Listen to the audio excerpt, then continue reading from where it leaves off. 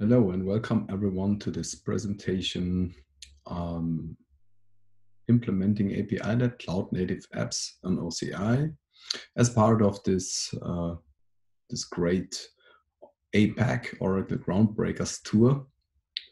Um, unfortunately, this year we cannot do this uh, physically, so we have to do this remotely.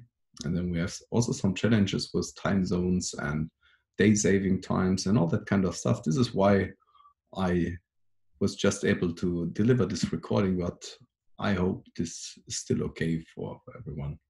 So, um, what will we talk about in the next 45 minutes? Ah, first of all, that's me. I'm Sven Bernhardt. I'm working for uh, or, uh, Opitz Consulting, which is a German Oracle partner. And I do a lot around all those new cloud native technologies and especially APIs, service meshes, and all that kind of stuff. Um, originally, I came from the integration space, implementing um, integration solutions based on Oracle SOA and OSB. Um, yeah. And in the following uh, um, minutes, um, I will talk about the topic cloud native and APIs and how this fits together, um, how we can um, yeah leverage from uh, those concepts and what they they bring to us and especially how we can implement it um, based on oracle cloud technologies. So first of all what does cloud, cloud native apps development mean and why should we care? So cloud uh, is a competitive advantage if it is used in the right way. So if i just lift shift my my applications um, I just um, move move my workloads over to the cloud. So I do not need to care about the hardware in my own data center, but the cloud uh, resources are not used so that I gain all the um, advantages which cloud as as a concept promises. So like increased scalability, increased flexibility, increased speed and idea to market. Um, and also with respect to total cost of ownership, this is not the optimal way to do a cloud migration because when you go to the cloud, you should also always think about re-architecturing, uh, re-architecturing what you've done so far to um, really leverage from the advantages that cloud brings to you. So um, cloud native, um, or characteristic of cloud native applications um, are that they build API first. So I have an, a clear described API which which allows me to to access the the um, yeah the app. Um, most of the times the um, the apps are containerized so that they are independently from from from a specific platform.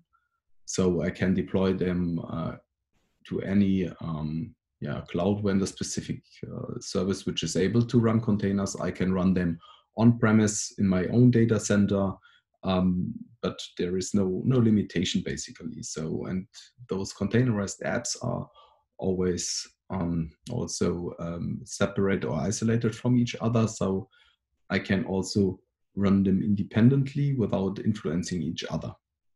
This is also a a, a advantage and those applications are built um, loosely coupled. So this is also a good thing.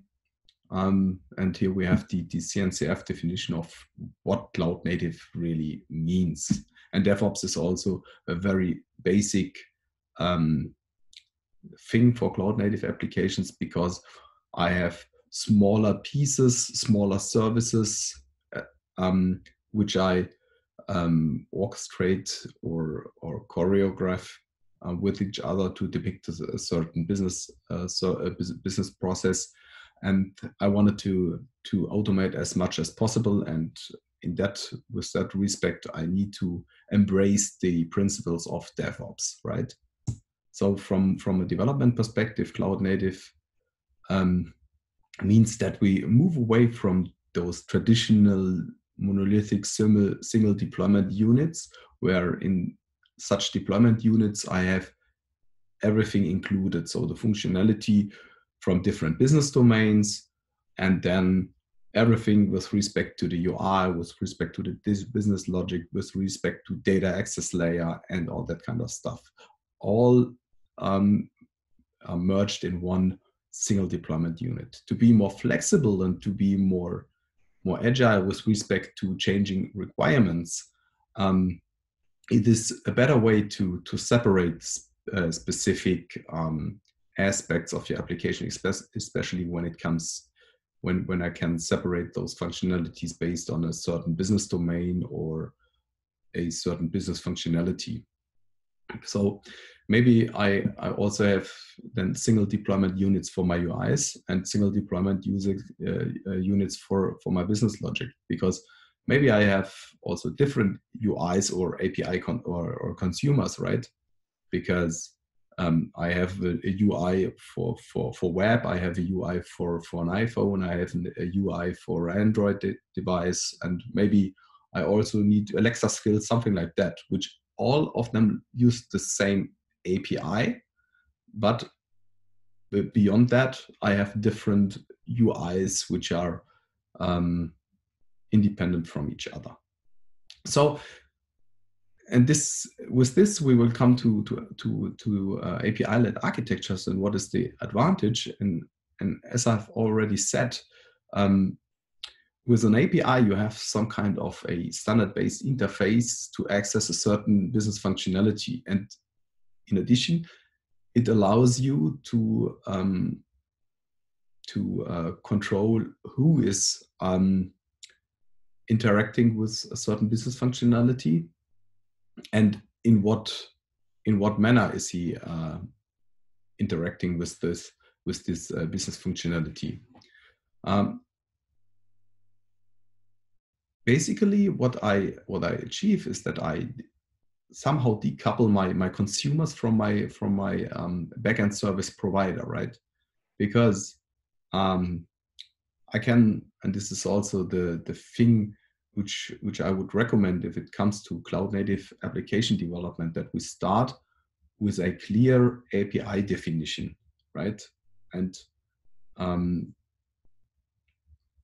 this is um, meant to by is focus on the API consumers, right? So you clearly focus on your API consumers, and this is different the way like we do it today than like we did it um, for the past years. We always build APIs, especially with respect to system integration, but those were mainly technical APIs. Now we have API consumers, for example, business partners um, or customers, and they wanted to interact with a certain API. So this API must be intuitive and understandable and comprehensible to use.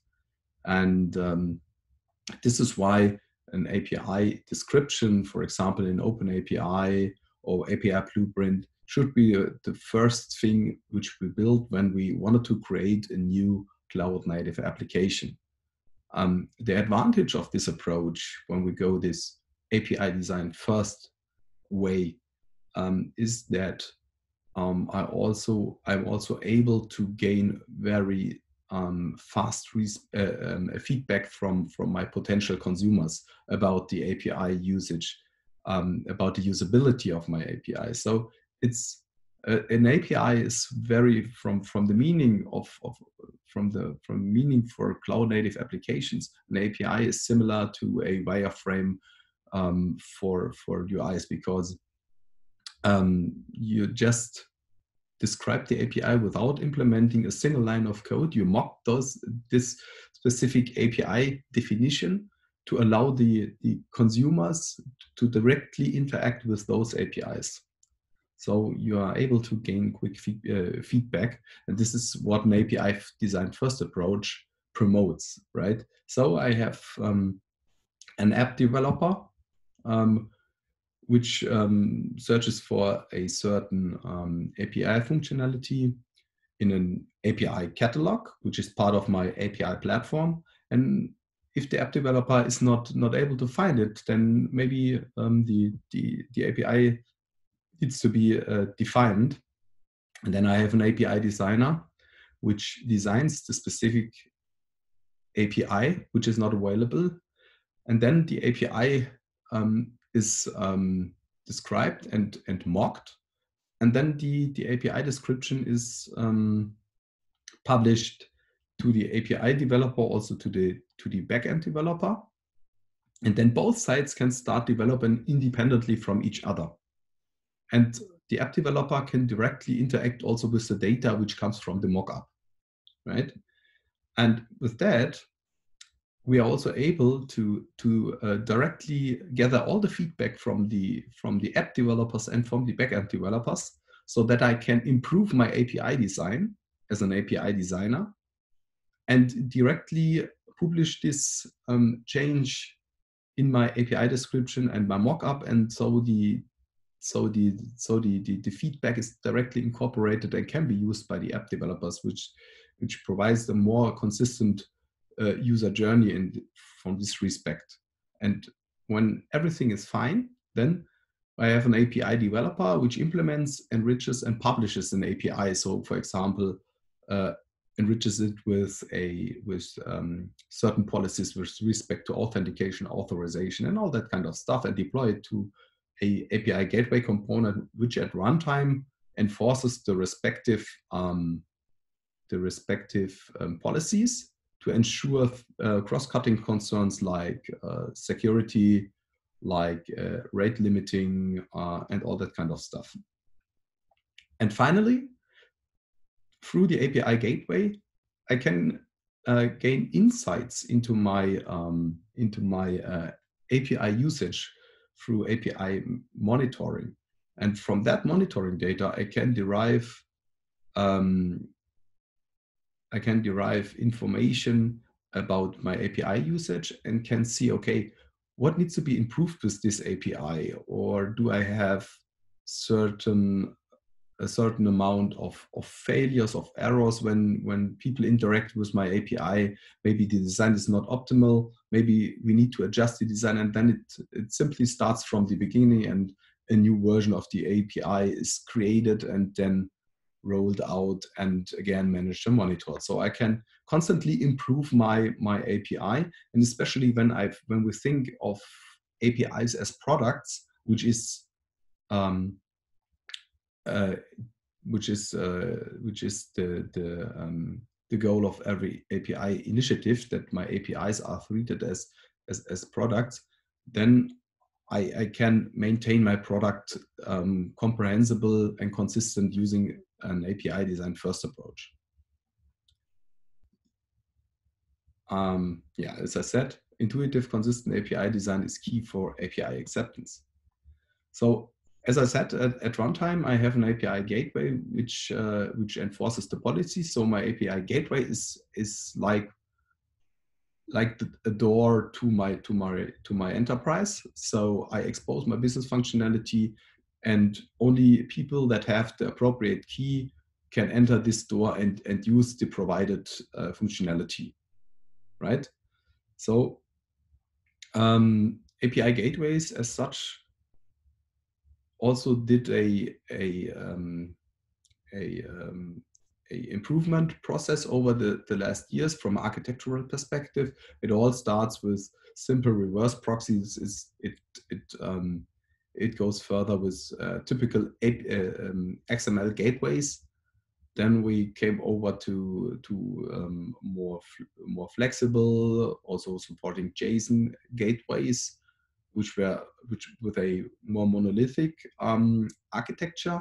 And finally, it it came to a it, it, it ended up in a more flexible way because um, because of all the different workloads out there. So I need to support different architectural patterns like um, like um, monolithic applications, microservices, SOA services. I need to to um, support different platforms. I need to support uh, different cloud vendor platforms. I need to support on-premises.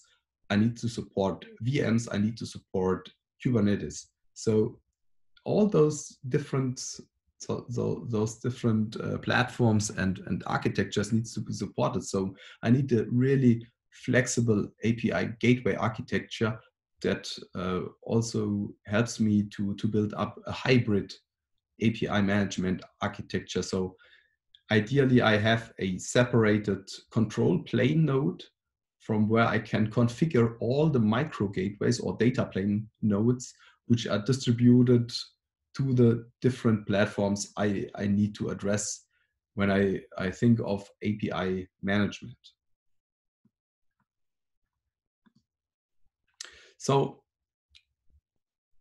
from a from a use case, use case perspective, an API gateway is especially used when I when it comes to to to the point that um, enterprises think of APIs as product, as I already said, to to uh, depict uh, capabilities like authentication, authorization, rate limiting, and monetization. Because when I expose my my APIs to the outside world, then this is a, a new a new business model, and then I also want want uh, consumers to to pay for this um, for this service offering, right?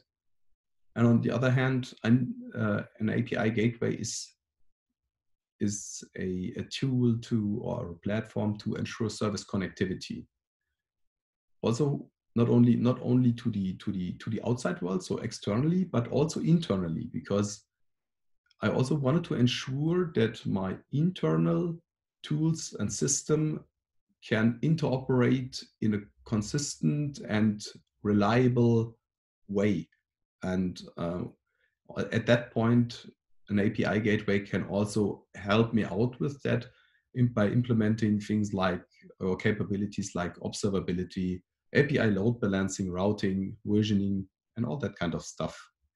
Especially in combination with a with a service mesh, we have a lot of, of possibilities and uh, to ensure reliability and, and connectivity at that point. So, and last but not least, an API gateway is an important part to establish a full lifecycle API management, right? As I already mentioned, we we wanted to do a we wanted to to to to act in an API design first way. So um, I need a tool set which completely supports this, this process from, from the beginning, from ideation planning, ideally over design, over mocking, trying it out, then create and configure a certain API, deploy it to an API gateway runtime, um, and then promote also this API to, to my consumers, do also other lifecycle um, operations like deprecation or retirement, which is very important, right? Because when I have um, a new version of my API, what should happen to the old version of my API? I need to deprecate it. And after a, a grace period, I need to retire it because I don't want to have um, two, three, or four different versions of my of my of my API in parallel. Yeah, two might might be okay, but not three, four, or five. So and then the, the platform should also help me to gain insight into my into my API usage, which is basic for, to also to um, to um, implement um, um advanced use cases like API monetization, right? Because if I don't know who is consuming my API, I have no one who I can charge off, right? So this is um, why API-driven um, is or API driven architectures are so important. From a development perspective, um, I have a certain tool chain and to support the, the, the life cycle phases we saw before. So um, on the design and, and mock phase from Oracle provides um, the Oracle Apiary tooling. So Oracle Apiary, API allows me to to um, to go um, to go to um, to go to the web and design a API e even in um, in a API blueprint fashion or in an open API fashion. So you can describe your API and at that moment when you are, are, finished with your API design, you directly have an API mock behind it and can distribute those API mock addresses. So you can use an API client like Postman or Insomnia to um, to try it out directly and to see how this API behaves. So then you can also um, use um, yeah frameworks like Oracle Jet or Helidon to implement the respective front end and backend functionality. In the next step, when it comes to creation and configuration, we have um, OCI API Gateway. And within OCI API Gateway, I can import my API definitions or my, my open API um, document. And from that, a new API is generated and uh, then I can directly deploy this API to the to the API gateway after I configured the deployment respectively, pointing to the to the um, to the HTTP endpoint of my of my um, of my service. Um, but uh, if I don't have the backend implementation finished, I can also um, use the, the mock endpoints from OCI API gateway. So from, from a, a, consumer perspective, I have a more production ready um, feeling because I need to apply or adhere to already also to the policies which are defined for this specific API in Oracle uh, API Gateway. So um, deploy and run besides the API which needs to be deployed, I also need to deploy my, my backend service, for example, my front-end application. When I do this containerized, I need to, to, to store my, my containers somewhere. Yes, I can do it in the public internet, so in Docker, in Docker Hub or somewhere, somewhere else. But uh, um, usually I don't want to do that. So I need some kind of a private Docker registry, and with OCI container registry, I have such a um, container registry. I also have a, a Kubernetes cloud, so Oracle uh, Kubernetes Engine, OKE. And I need additional um, DevOps tooling, for example, Oracle Developer Cloud Service or OCI container pipelines to build my container, to build my complete application, and finally automatically deploy it to my, my target runtime.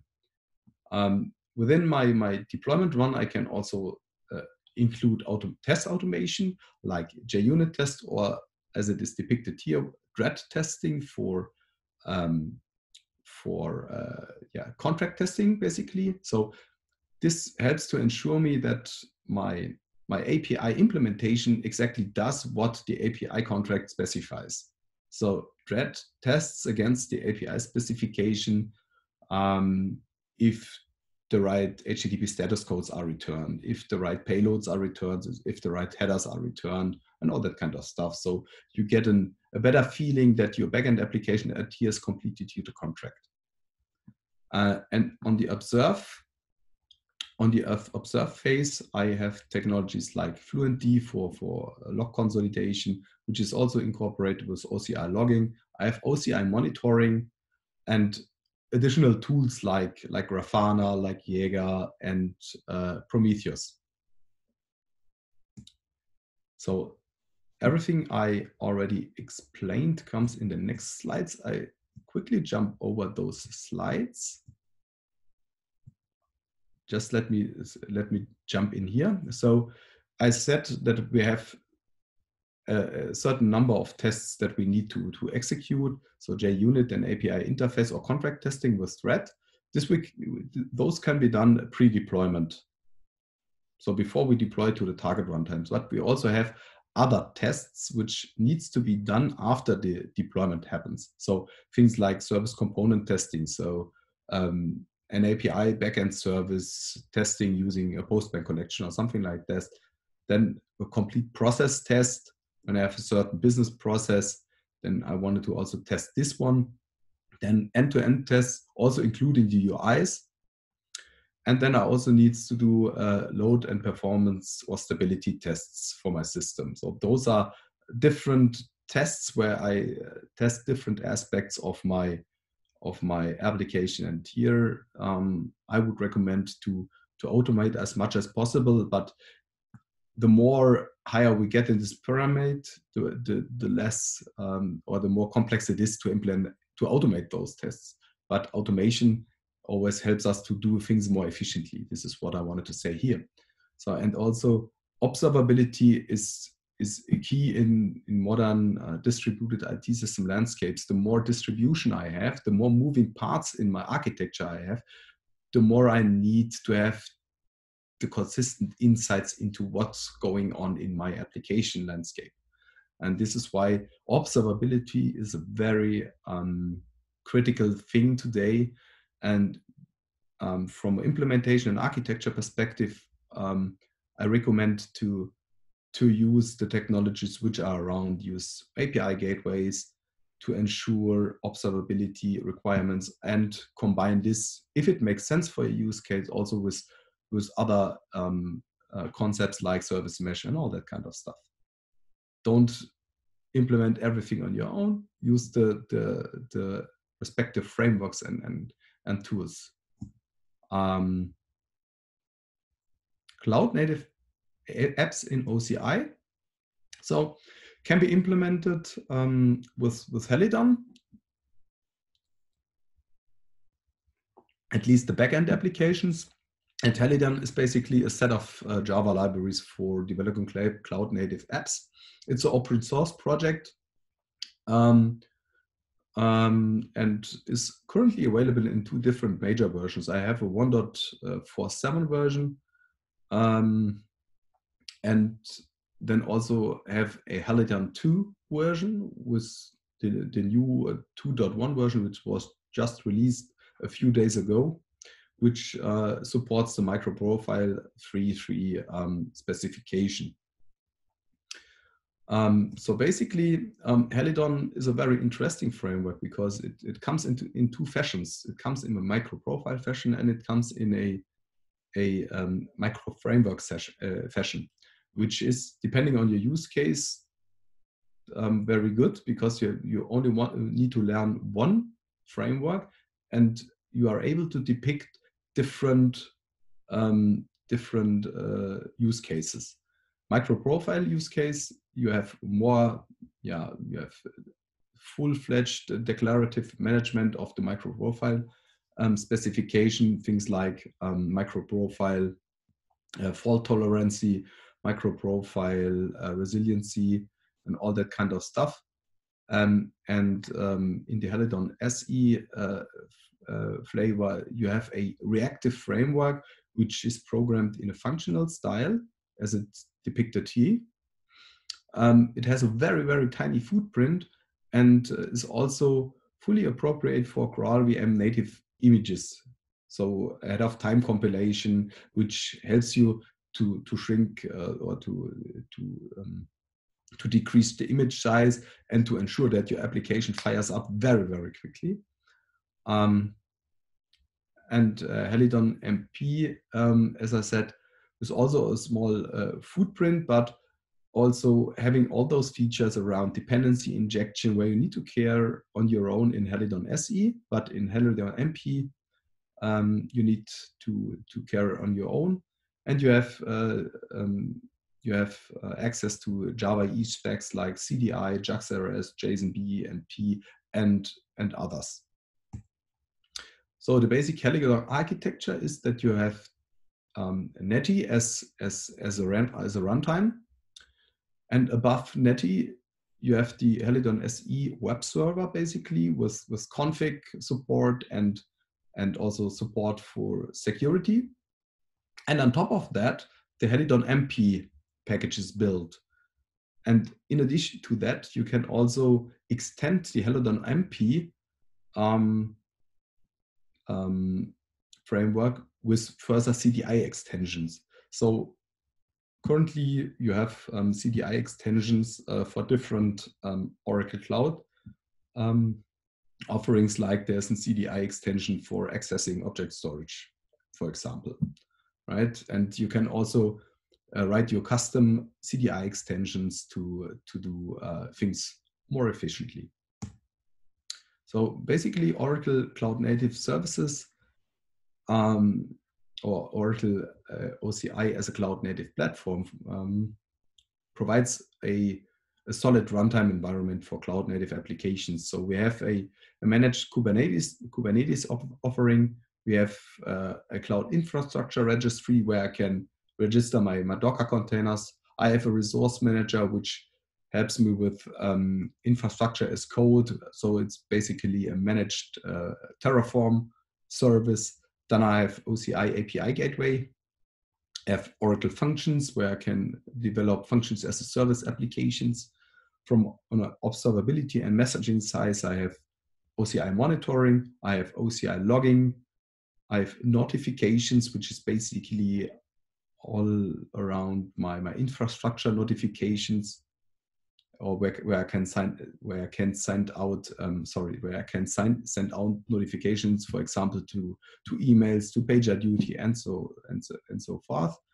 Um, Oracle events is something which notifies you with cloud events when something happens in your infrastructure. For example, a new document is uploaded to to um, Oracle um, object storage, then you can react on this cloud event.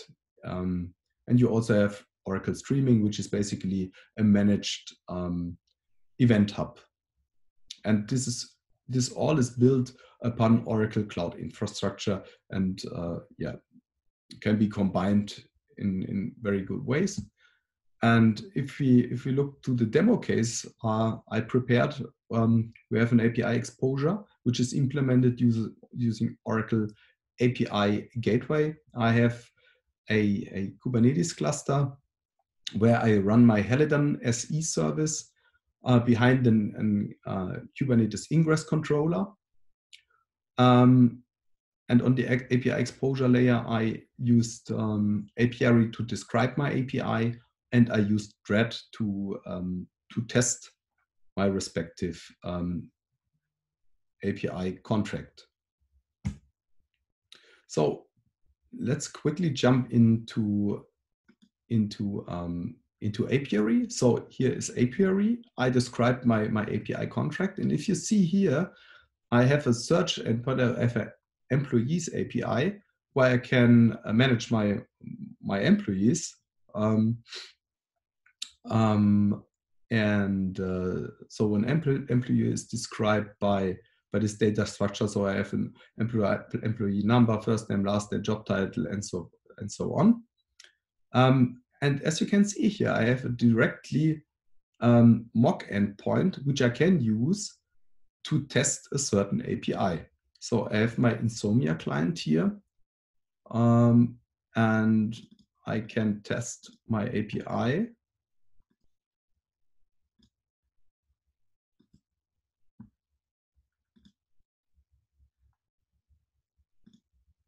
Oh, I stopped sharing. Sorry for that. Um, so as you can see here, I can also create new. I can so I can basically test test the API usage. Um, and here in in my in my API apiary, I can also see, okay, a few seconds ago, I did a respective call. And what I can see here that this API call was not as expected by the API because I am missing a API key header and I have an additional header which is not in the contract. So this this also helps me to to to see if if my requests are that what what I uh, uh, adhering to my uh, my contract at a very very early phase, as you can see here. Um, yeah. In addition to that, I have my my my API spec, so my API YAML here, which is described. Um, so I have here my my get endpoint where I can search my employees. And I have now something like Dredd. So if I do my Dredd test, so what, what Dredd basically does is it uses my, my Helidon service, which I implemented. So the, the Helidon employee SE service. um, starts the, the, the Helidon service locally with Java minus jar and runs its test again. So, and what I can see is four tests are passing, eight tests are failing. Then I can go back to, to apiary and also see that I executed a test and I can directly see which tests are uh, which test passed. So obviously um, all my my happy passes uh, are implemented and my um, my uh, error cases are not yet implemented. So it's uh, for example here I expected a, a status code 400 but got 201. So this is uh, an indicator that my implementation is not adhering to my service, but that's no, no problem because I'm in a very early phase of my API development. So I need to adjust my implementation, right? For the moment, that's, that is fine. Um, with Insomnia, I can also test my um, API, uh, which is deployed to, to the OCI console. So I have here my, my get employees service. And this is my URL to my Oracle API gateway. So I'm calling the, the API. So I also insert a new user. So as you can see, I inserted a new user to the service, um, which uh, reaches out to my Kubernetes service. And if we go to my Kubernetes service, so this is my my my employee service or my my demo deployment. Um, and if we go to the logs, we can see that when we do the, the calls to this API,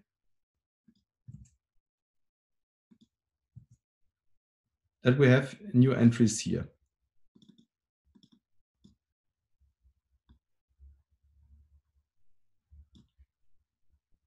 Okay. And what I did in in uh, in the um, in the Oracle Cloud, I have this developer service. As you can see, I have here my Kubernetes cluster where this service runs. I have my container registry where I uploaded my employee service in version 010. And I have my API gateway, right? And if I go here to the, to the APIs, I have my employees APIs, which was generated from my API description. So I, I, um, I, uh, I imported my API description here and started my, my API deployment based on this description. So from, from a API first perspective, Oracle Cloud provides a lot of, of tooling, a lot of support, starting with apiary, starting with Dredd. So Dredd is tooling which comes from the guys which uh, originally um, implemented apiary before Oracle acquired it. And um, I have API gateway and also uh, Kubernetes where I can use as a, a development runtime. So let's go back to the to the presentation. Um, so I explained all those services to you, which I used in my demo. So now we come to, to a, a summary. So the key takeaways um, which I wanted to uh, to um, to give to you is that in my from my in my opinion when we start building new apps today we should build those apps with with with uh, cloud cloud in mind even if we run them on premise so cloud native principles should, always be um, in our mind when we build new apps today. And we should build them um, containerized um, using apis and also embracing the, the devops um, ideas. So um, API first is is very essential for for um, for cloud native application development because um, without a, a, proper API which is intuitive and usable, an, an API is, is, is useless. No one will use it if the API is not intuitive, right? And that's the the it's a worst case it's even worse than having no API documentation, right?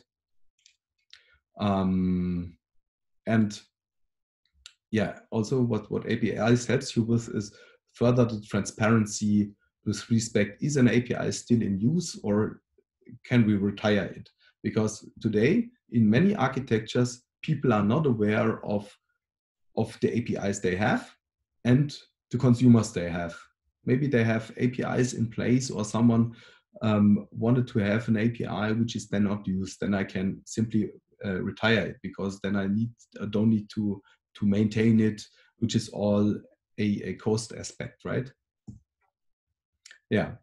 Last but not least, Oracle, have a comprehensive and uh, very complete cloud native application development platform with OCI, as we've seen. Uh, and the good message is that um, uh, Oracle also built this on base of rock solid uh, open source project, which which are always uh, also part of the CNCF landscape, which is good news because then um, it's, it's embracing the, the open source community and that's a good thing because in the open source community a lot of innovation happens um, and this makes the, the services Oracle provides on, on top even more valuable for implementing your next generation application platform. And the good thing is the offering Oracle has in the cloud native space is um, still growing, gets broader, and also more mature. So the services which are available in GA today uh, can be used without any um, any problems, also for for the production work, uh, workloads. Yeah. With that, I'm done. Um, I hope you enjoyed this session. If you should have any questions, um, please approach me.